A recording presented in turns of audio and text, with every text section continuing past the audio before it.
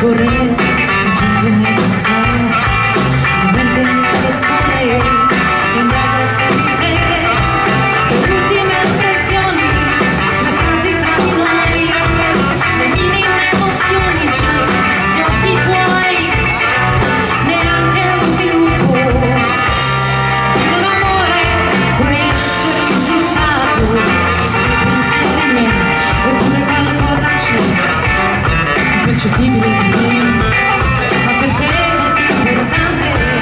I'm just do.